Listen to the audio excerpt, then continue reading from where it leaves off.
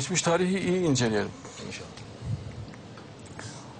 Bu Çin'de de var. Türkler de o zamanlar yapmışlar. Daha büyüğünü yapmışlar bu piramitlerin. Daha içine girilmedi onların. Çin hükümeti artistlik yapıyor. O üçgenin tepe kısmını kaldırmışlar. Ve dağa benzetmeye çalışmışlar. Bir şeyler yapmışlar. Çok fazla piramit var. Türklerin yaptığı. Daha eski ve daha büyük. Onların iç odalarına daha girilmedi. Alt odalarına. İçinde neler yazıyor, neler var belli değil. Ya Türk tarihiyle ilgili çok önemli belgelere ulaşılacağını tahmin ediyorum.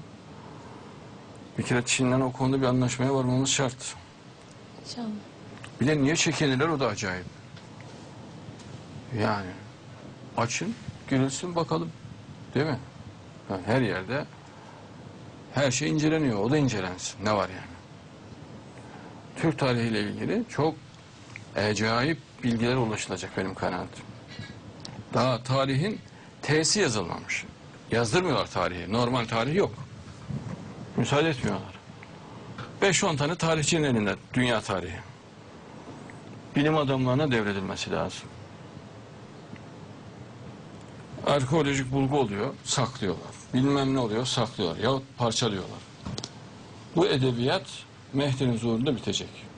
Sıkıysa parçalasınlar. Sıkıysa saklasınlar da göreyim. Kim bilir ne sırlar var dünyada. Kim bilir neler var. O piramitlerin içerisinde.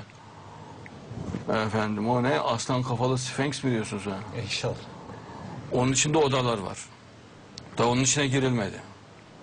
Ve yazıyor da kapı diyor adam içinde. Her türlü sır var diyorlar yani. Her türlü bilgi var. Ee, bu sıralar kimsenin bu işe yanaşacağı yok Allah alem. Kimse de cesaret edemez. Dünya her yönden Mehdi bekliyor ya. Yani Amerikan da ihtiyacı, Rusya'nın da ihtiyacı, İslam aleminin de ihtiyacı, her yerin ihtiyacı.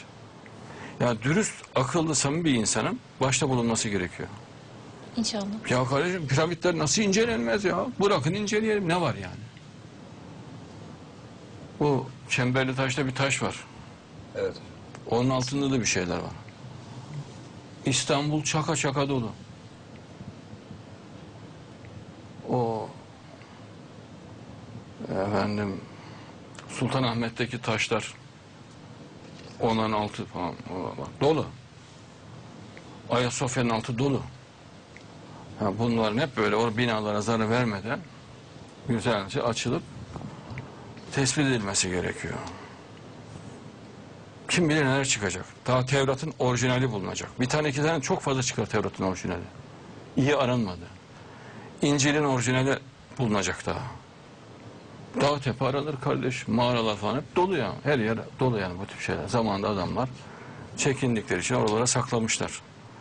Bunları bulacağız. İnşallah. Ama bunlar masraflı zor işler yani. Bunu devlet yapacağı işler. Mesela bu e, Nemrut Dağı'nda bu Nemrut harabeleri. Taş yığma bir mezar. Taş yığma. Bütün teşkilat onun altında. Ama taşı indirmek mümkün değil. Kazmaya başladın dağ çöküyor. Zor. Ancak teknik çalışma gerekiyor. Tepeden çalışılması gerekiyor. Önce tepeden bir oyuk açılması gerekiyor. Çünkü öyle kurdunuz ki adam yapanlar alttan aldın mı daha çökecek gibi yapmışlar. Üstten aldın mı üstten de çökecek gibi yapmışlar. Adam hatta dağın tepe, e, dibine kadar uçarlar oradan. Rahat durmazlarsa. Onun için e, orada çok akılcı teknik çalışma gerekiyor. Teknik alet edevatla falan. Yani sabit mesela etkilenmeyen bir mekan. Belirli bir bölgeden taşın aşağı doğru yuvarlanması lazım. Alanın boşaltılması gerekiyor. İnşallah. Dağdan aşağı yuvarlayacağım başka çaresi yok. Yahut orada bir set yapılacak. Oraya doğru çarpacak. Taşlar. Mezarın içinde. Kim bilir neler var dağın altı doldurmuşlar. Dağın tepesine taşları da yığmışlar. O da mucize. Hayret şey. Bütün masonik semboller var dağın tepesinde. Hepsi var. Aslan üstünde 19 yıldız. Kartal. Şu bu falan. Yani bütün çok fazla masonik sembol orada. Ee, anladığım kadarıyla orada aynı zamanda mason mabedi olarak da kullanmışlar. Bilir altında nereye gireceğiz? Dağın altında. Nuh'un gemisi bulundu. Hiçbir odasına daha girilemedi. Diğer kameralara girilemedi. Kimse de ilgilendiği yok ya. Duruyor gemi orada. Bir tane iki tane değil. Çok fazla odası var. Dağın tepesinde. Halen şu an bile kar arası girilemiyor yani. Ee, Buralara devlet imkanıyla girilir. Mehdi zamanında inşallah girilecek. Bütün odalara girilir kardeşim. Belki Nuh'a gelmiş kitap orada.